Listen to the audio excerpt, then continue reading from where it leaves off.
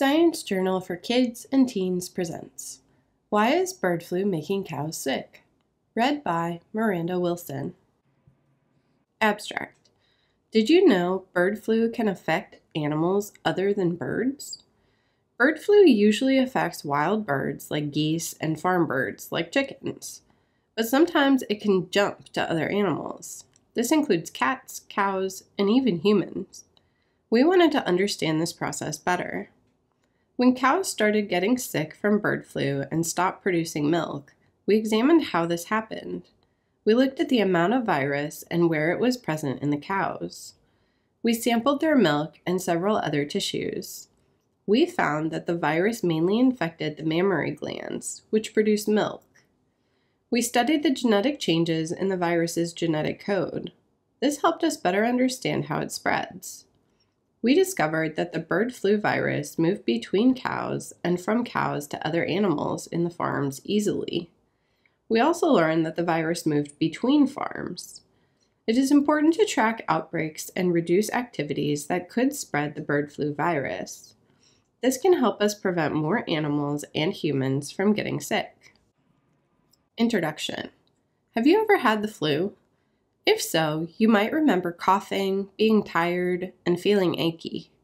Other animals get the flu too. It's caused by a virus. There are lots of different forms of the flu virus that infect different animals. In certain cases, the flu virus that infects one type of animal can also jump across species and infect other animals. This jump from one type of animal to another is called spillover. This can happen due to the virus's ability to change its genetic code, its RNA. The changes in the viral RNA are called mutations. RNA can mutate when viruses replicate.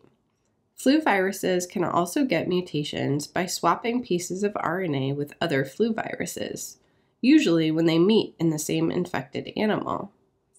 It is important to keep track of how viruses like the flu spill over from one animal species into another.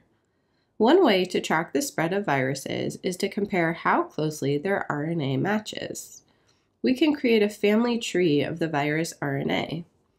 In this tree, viruses that are closely related appear near each other, just like siblings in a family. The sibling viruses likely come from the same source. Distantly related viruses come from different sources. In early 2024, American farmers noticed strange flu like symptoms in their dairy cows. Plus, their milk was sometimes thick and yellow. Several of the sick cows even stopped producing milk. This was worrying. A new version of the bird flu virus had already spilled over into wild mammals like cats, foxes, and seals. We wanted to investigate the possibility that bird flu spilled over into dairy cows. We also wanted to understand how it spread. This important information can help protect farm animals from getting sick in the future. Methods We studied animals from nine farms that reported sick dairy cows in early 2024. We collected over 300 samples from dairy cows. These included nose swabs, blood, urine, feces, and milk. We also took samples from wild animals found dead on the farms. Here in Figure 1, you can see milk samples from infected cows. The coloration varied from yellowish to a pink-brown color. Curdling is also visible in some samples. The top part of the image shows what milk looks like from above. On the bottom, you can see a side view of eight samples. The ones on the left are more pinkish brown, and you can see curdling in them. The ones on the right are more yellow in color. In the lab, we confirmed that the animals had bird flu. Then we examined three questions. One, how much virus was in each sample? We did this by extracting viral RNA. Then we used specific methods to detect the quantity of RNA in the samples. We also used a microscope and virus specific staining techniques to see where the virus was in different tissues. We looked at the lungs, intestines, and mammary glands. 2. How long had the animals been making or producing viral particles that could infect other animals? We collected extra samples for testing 3, 16, and 31 days later. And 3. What was the RNA sequence, the genetic fingerprint, of the viruses in the sick animals? We use this information to help us understand how the virus spread. Results We found that milk from sick dairy cows had the highest level of bird flu virus. Their mammary gland tissue, which produces milk, had similarly high levels. We detected the bird flu virus RNA for up to 31 days. Luckily, the virus was no longer infectious after the third day. When we looked at the virus's RNA in samples from sick cows, the sequence was different from other versions of bird flu that we know about. The virus's RNA had accumulated mutations. We also tracked apparently healthy dairy cows from one farm to another. They infected dairy cows at the second farm, so they were actually carrying the virus. Here in figure 2, you can see the average level of the bird flu virus we measured in the 300 samples of bodily fluids we collected from dairy cows. On the x-axis of the graph, you can see the type of sample. From left to right, they are nasal swab in green, whole blood in red, urine in yellow, feces in orange, and milk in blue. On the y-axis, you can see the virus level. Looking at the graph, in which samples did we find the highest level of bird flu virus?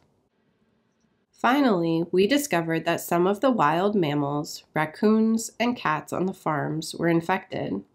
They had the same version of the bird flu virus as the dairy cows and were probably infected after swallowing raw milk from the sick cows. Discussion Our results show that dairy cows can get bird flu, the virus infects and replicates in the mammary glands. This causes high quantities of virus in the milk. Some of the farm animals may have been infected by drinking raw milk. Luckily, pasteurizing milk can kill the bird flu virus. Many of the sick cows live on farms along a major bird migration route, so wild birds may have infected them. Even more concerning is that an infected cow could pass the virus on to other cows and animals on the farm. This is the first time we have seen transmission of the bird flu virus from one mammal to another, and, most importantly, from one cow to another. If the bird flu virus gets mutations that help it infect mammals, it could start to infect humans as well. Conclusion you might think that cows, wild birds, and humans live in very different environments, but our lives are all connected. As humans build more farms, towns, and cities, we are moving into spaces where wild animals live. This makes it easier for diseases like bird flu to spread between animals, and even to us. Fortunately, drinking only pasteurized milk can protect us from many infections. Farmers, vets, and researchers should continue to work together to fight off the spread of diseases. Thank you for listening to this recording. This work has been adapted from the original peer reviewed paper in the journal Nature published on July 25, 2024.